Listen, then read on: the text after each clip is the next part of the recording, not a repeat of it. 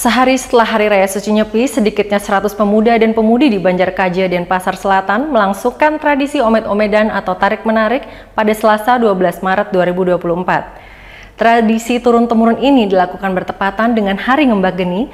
Selain untuk menjaga silaturahmi antar warga di Banjar, ajang ini sekaligus menjadi festival dan agenda tahunan yang menarik bagi para wisatawan.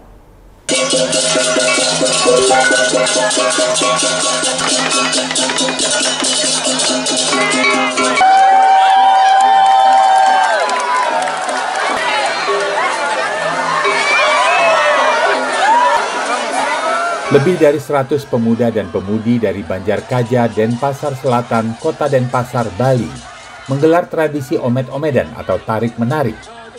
Tradisi yang berlangsung tepat sehari setelah hari suci Nyepi ini bertepatan dengan rangkaian akhir Nyepi yaitu Ngembak Geni.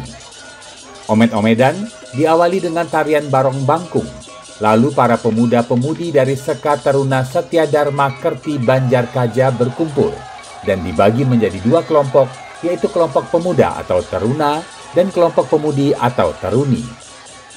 Dua kelompok berbaris dan berarak-arakan kemudian dipertemukan. Yang diarak paling depan dari masing-masing kelompok akan berpelukan hingga anggota kelompok lain saling tarik-menarik dalam barisan.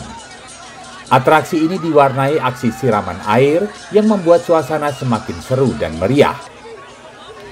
Menurut kalian adat atau kepala adat Banjar Kaja, omet-omedan merupakan tradisi setiap pergantian tahun Saka yang menjadi ruang silaturahmi antar warga Banjar.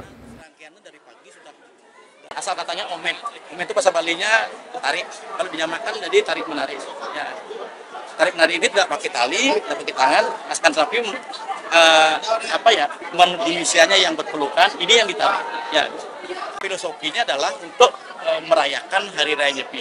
Artinya filosofinya silaturahmi antara kamu banyak pada saat itu sekarang sudah dilakukan oleh anak muda kita. Jadi setiap pergantian tahun Sake kita silaturahmi mengadakan omet-omedan. Made Sudama menambahkan, kini tradisi omet-omedan diwariskan kepada generasi muda yang dikemas secara kreatif bernama Sesetan Heritage Omet-Omet Festival. Pemerintah Kota Denpasar pun mengapresiasi para pemuda-pemudi yang terus melestarikan tradisi turun-temurun ini setiap tahun. Ini adalah tradisi yang harus kita pertahankan dan tidak semua wilayah ada. Yang ada adalah di Banjar Kajo Sesetan ini. Ini artinya uh, tradisi yang harus dipertahankan karena memang tadi yang ber, uh, berbincang-bincang dengan tokoh yang ada di Banjar ini, tradisi ini tidak boleh hilang. Ini adalah uh, tradisi pergaulan antar anak-anak muda yang ada di uh, Banjar ini.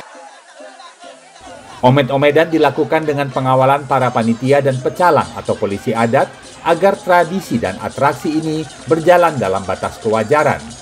Pemerintah daerah akan menambah anggaran untuk melestarikan festival, seni dan budaya tradisi omet-omedan dari 45 juta rupiah pada tahun ini menjadi 75 juta rupiah di tahun depan. Dari Denpasar, Bali, Rita Laura, Kantor Berita Antara, mewartakan.